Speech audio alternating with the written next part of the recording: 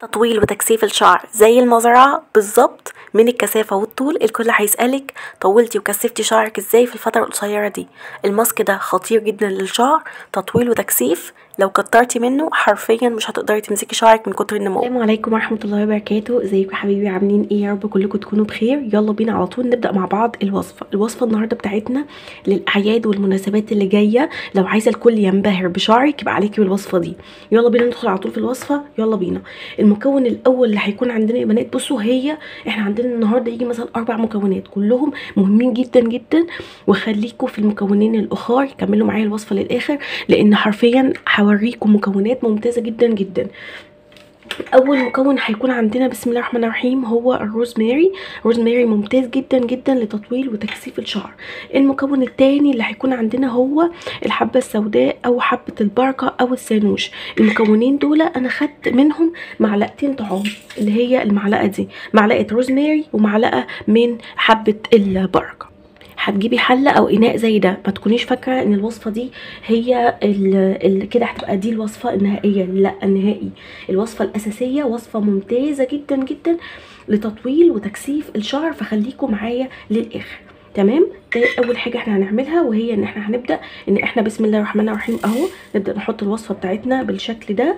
تمام؟ أول مكون. المكون الثاني اللي هنحطه زي ما قلت لكم هيكون آه إكليل الجبل أهو بالشكل ده. تمام؟ وبعدين نحط آه كوب كامل من المية. المية العادية. اهو يا بنات جبت شفشق فيه كوب كامل من المية وهبدأ ان انتي تضيفي المية تمام؟ كده على طول عشان هتغليها لمدة 15 دقيقة على النار. وتكوني مغطية طبعا عليها تمام؟ أول ما تبدأ تغلي هتغطي عليها. وتسيبيها حوالي 10 دقايق كده تبرد ولا حاجة. وبعدين تصفيها وتاخدي المية بتاعتها. أهو يا بنات بعد ما غليتها حوالي 15 دقيقة وسبتها تبرد وصفيتها عملت كمية المية دي اللي هنبدأ إن إحنا نخلط بيهم الوصفة بتاعتنا الأساسية. إحنا كده ما بدأناش لسه في الوصفة بس كان لازم أعمل معاكم الأعشاب دي قدام يعني فحاولت أخلصها بشكل سريع. يلا بينا نبدأ بقى في الوصفة الحقيقية اللي هتخلي شعرك طويل وكثيف خلال الفترة القليلة دي عشان لما يبدأ الأعياد ورمضان تحسي إن انت مش محتاجة تهتمي عشان انت اهتميتي وكنتي شاطرة وبدأتي بدري. كملي الوصفة للآخر ما تنسيش تصلي على رسول الله في الكومنتات ويلا بينا.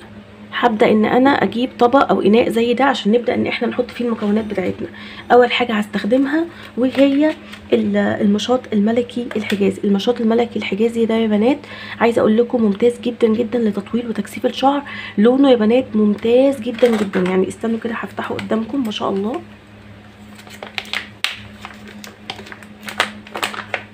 شايفين يا بنات؟ شايفين شايفين لون المكونات شايفين الجمال شايفين الحلاوة دي. ده لونه لونه كده تحسوه يا بنات جاي كده على البني. تمام؟ المشاط يا بنات ده مشاط ملكي حجازي. شفتوا كمية الأعشاب اللي فيه؟ ما شاء الله. ورد مجفف محلب أسود الخزامة آه اوراق الزيزفون آه البردقوش الهندباء. بصوا كمية فوائد بيطول وبينعم الشعر. سحر للتعطير. بيعالج التقصف بيقوي بصيلات الشعر بيعالج التساقط. حاجة كده يا بنات بسم الله ما شاء الله ممتازة. هنبدأ إن إحنا نضيف بسم الله الرحمن الرحيم. أهو معلقة تمام؟ أهو يا بنات وهحط المعلقة التانية. عايزة أقول لكم يا بنات حرفيا نتيجة الوصفة دي ممتازة جدا جدا للشعر رائعة جدا جدا يا بنات. وحرفيا بتطول وبتكثف الشعر حرفيا يا بنات ممتازة بشكل كبير جدا. أنا حطيت أهو حوالي معلقتين من المشاط الملكي. في إضافة أنا عايزة أضيفها أنت ممكن تكتفي فقط بالأعشاب والمشاط. في حاجة أنا عايزة أضيفها وبصراحة بحب أضيفها جدا جدا جدا. لو أنت عايزة تستغني عنها براحتك. لو أنت مش ع... على فكرة بنات المشاط ما بيلونش الشعر عشان تكونوا فاهمين بس المشاط ما بي... مش بيلون الشعر نهائي. إيه الحاجة بقى اللي بتلون الشعر؟ هي الحنة. لو انت مش عايزة تستخدمي الحنة براحتك. أنا عن نفسي بستخدم معلقة واحدة بس على الوصفة دي. أهو. أنا جايبة حنة ممتازة حنة أسوانية. الوصفة دي يا بنات حرفيا ممتازة جدا جدا للشعر. الحنة رائعة المشاط رائع الاتنين مع بعض ميكس رهيب مع الأعشاب. بصوا حاجة كده ما شاء الله. أول ما يبدأ العيد والمناسبات تيجي الكل حرفيا هيسألك انت بتستخدمي إيه لشعرك. فساعتهم هتقولوا لي هتقولي لهم إن أنتوا بتستخدموا وصفة صوفي للمشاط والحنة الرائعة. بصوا يا بنات أنا بحط معلقة من الحنة بالشكل ده بس الأول بنخلها. تمام؟ كده. ليه بقى؟ ساعات بحس إن بيبقى فيها شوايب فممكن تبقى مزعجة ليا وأنا بستخدم الوصفة أو بحطها على شعري شايفين؟ شايفين الحاجات دي كلها؟ الحاجات دي ممكن تنعميها وكده يعني ممكن تعملي كده. أهو. ما شاء الله. بقت ناعمة. بصوا مفيش أي حاجة نزلت. ما شاء الله ما شاء الله. مفيش أي حاجة فضلت لأن هي ممتازة جدا ممتازة جدا للشعر ورائعة جدا جدا. على كل دول بقى بتحطي آه أي زيت. أنا هنا بستخدم زيت آه، النخاع نخاع الجمل. ممتاز جدا جدا لتنعيم وتقوية الشعر. بضيف حوالي كده بصوا الكمية دي وخلاص يعني ما تكتريش. تمام؟ طبعا هنضيف بقى الأعشاب اللي عندنا.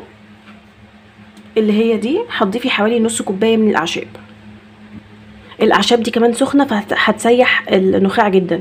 على فكرة ممكن ما تستخدموش النخاع ممكن تستخدمي زيت الزيتون الجوجوبا سمسم آه، زيت جوز الهند براحتك. أنا مش هجبرك إن أنت تستخدمي حاجة معينة. أهو بسم الله هنبدأ. هتضيفي نص بالظبط كده.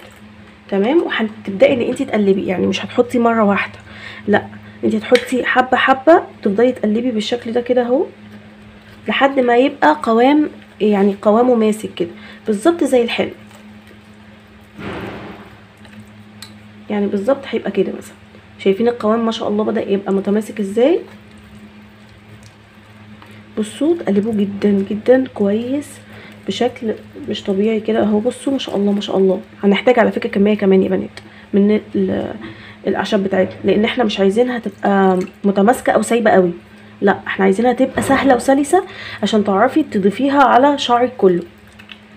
لو شعرك طويل وكثيف آه، لحد مثلا نص ظهرك كده ولا حاجة وطويل وكثيف كمان اعملي كمية أكتر. بصوا كل ما تحطي مية كل ما الكمية تحسيها نفشت معاكي. بصوا كده بصوا مش قوامها سايب قوامها ماسك جدا. تحطي كمية كمان. يعني في الآخر ممكن تقفل معاكي إن انت تحطي كوب كامل من الأعشاب. تقلبي كويس. اهو يا بنات بصوا بسم الله ما شاء الله ده القوام اللي إحنا عايزينه اهو بالشكل ده. لا أك... لا أكتر ولا أقل. وطبعا لسه محتاجة اقلب جدا لدرجة ان هو يبقى يعني ما فيهوش أي نوع من أنواع أي حاجة ماسكة في بعض عشان وأنا بحطه على شعري الدنيا تبقى تمام. وبعد كده يا بنات هنغطي عليهم بأي حاجة زي الكيسة دي.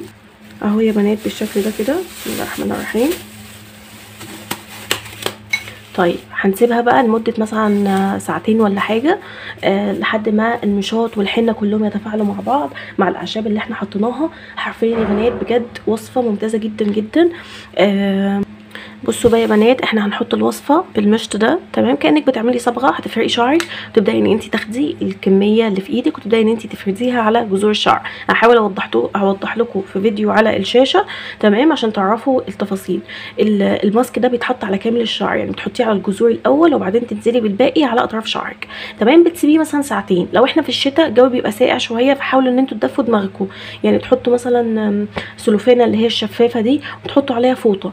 تمام؟ وممكن كل شوية تسخنوا الفوطة وتحطوها على شعركم. لأن في الصيف الماسك ده على الشعر الشتاء الماسك ده بيبقى على الشعر ساقع فممكن آه، يأذي دماغكم. آه، يعني بلاش أفضل إن أنتوا تحطوه في في جو ساقع جدا أو تحطوه وتدفوا دماغكم ودي أهم حاجة. يعني أنا هستخدم الماسك ده وادفي آه، دماغي أو أقعد في مكان ما فيهوش هواء ملحوظة مهمة جدا جدا. انتبهوا ليها. في الصيف أصلا من كتر الحرارة الحنة نفسها بتسيح على شعرنا وبتقع. آه، ف وبتبهدل الدنيا يعني. فأنتوا أكيد عارفين. فالماسك ده بيتساب ساعتين وبعدين بيتشطف بالمية. بالشامبو والمية كويس يعني كأنك بتغسلي شعرك وبتكرري الماسك ده مرتين مرة في الأسبوع. ماسك هايل جدا جدا هيطول ويكثف شعرك. أتمنى إن أنا أكون فدتكم ما أكونش طولت عليكم. حاولت والله على قد ما أقدر إن أنا أفيدكم في الماسك ده فحاولت أشرح لكم على قد ما أقدر. أتمنى الوصفة تكون ممتازة جدا ليكم. بحبكم جدا ومع السلامة.